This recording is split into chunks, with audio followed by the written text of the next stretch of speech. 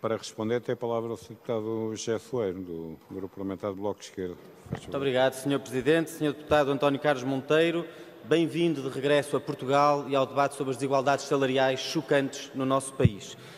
Pergunta-nos sobre a nossa proposta. A nossa proposta foi debatida aqui em setembro e o que propomos é que se fixe, que o Governo fixe um leque salarial de referência e que esse leque salarial sirva de referência para o público e para o privado. Qual é a consequência para as empresas que não respeitarem esse leque salarial? São duas consequências, Sr. Deputado. Deixam de poder beneficiar de apoios públicos como hoje beneficiam por exemplo, para a contratação ou de benefícios fiscais e deixam também de poder participar em concursos e arrematações públicas. Pergunto em que é que isto viola a tão sacrossanta liberdade de que aqui falou das empresas. O Estado deve financiar empresas que contribuem para as desigualdades salariais? Não temos nada a fazer sobre isso?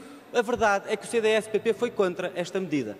E também nos pergunta, o Sr. Deputado diz que o Bloco de Esquerda quer penalizar os mais ricos e que não é assim que se combate a pobreza. Sr. Deputado, a questão das desigualdades é uma questão de, da desigualdade da distribuição da riqueza, porque é o dinheiro daquela empresa que é produzido por aquela empresa, é essa riqueza que está a ser mal distribuída e a ser distribuída desta forma chocante. E, pelo contrário, o que o leque salarial faz é estabelecer uma proporção.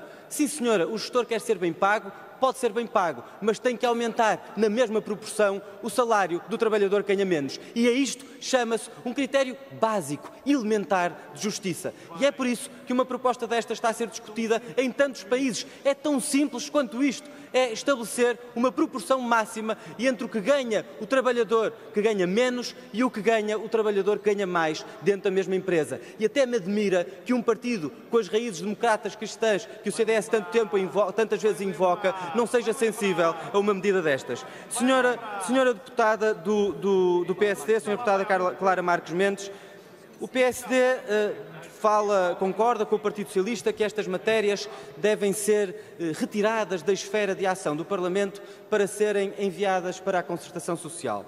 Mas nós sabemos o que pensam os diferentes parceiros que estão presentes no Conselho Permanente de Concertação Social. Porque quando nós apresentamos o nosso projeto de lei, o Primeiro-Ministro António Costa fez uma declaração a dizer que lhe a, a manifestar-se chocado com as desigualdades de salários, a disparidade salarial das empresas portuguesas.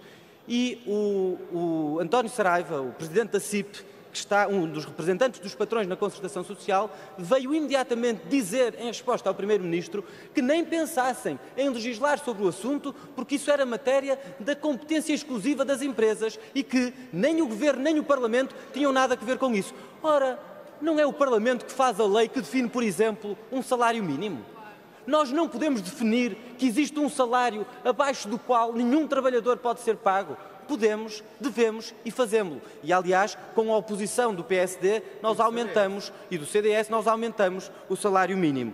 O que nós não podemos dizer, senhora deputada, e já agora também o CDS eh, faz exatamente o mesmo discurso, nós não podemos dizer que estamos preocupados com as disparidades salariais, que estamos preocupados com esta desigualdade brutal e depois chumbarmos e rejeitarmos todas as medidas que são propostas neste Parlamento, como propôs o Bloco de Esquerda, para combater essas desigualdades. Nós Obrigado, não podemos rejeitar essas medidas e, ao mesmo tempo, condoer-nos com a desigualdade que alimentamos pela nossa inação.